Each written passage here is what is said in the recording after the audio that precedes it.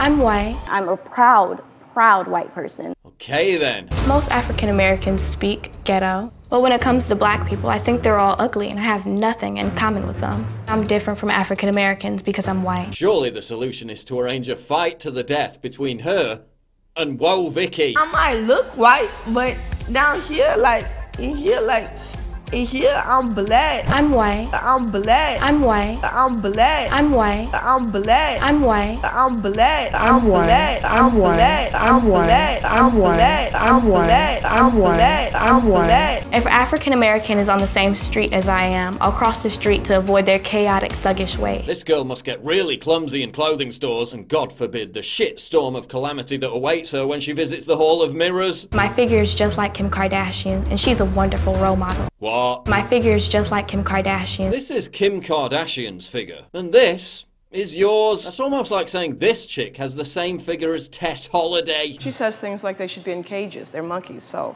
her views Yeah. are extreme, to say the least. Yeah, that reaction looked like a bit of an overcompensation to me. Closet racist. I just know that I'm white. I mean, she might not know that I'm white, but I know that I'm white. I can feel it through my veins, I feel it through my blood. But why is everyone hating on her? A gold medal male Olympic athlete can identify as a demure woman. Rachel Dolezal can grow up looking like the Milky Bar kid but identify as African American. I identify as black. Glamrou can identify as a non-binary gay Muslim drag queen. I'm British Iraqi, gay, non binary, and also identify as Muslim. This individual can identify as the extraterrestrial from the alien autopsy video, and Dr. Phil can identify as a real psychologist. So who says this girl can't identify as Caucasian?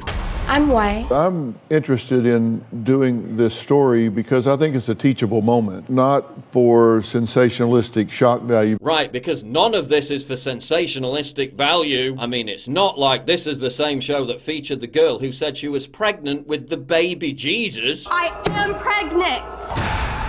And it is Jesus. and that her father was Eminem. Did you tell people that Eminem is your father? Yes, I did actually. It's not like this is the same show that launched the biggest sensationalist cancer of the century. Catch me outside. How about that? Not for sensationalistic shock value. And it is Jesus. If you want to identify with the Caucasian group of which I'm a member, uh, you are not welcome. Dr. Phil joins the alt right. What's with all these judgmental white people condemning a black person's right to choose their race? Bigots, stand up if you support the ethno state. Jesus wept. They're just quiet about it, that's it. White power.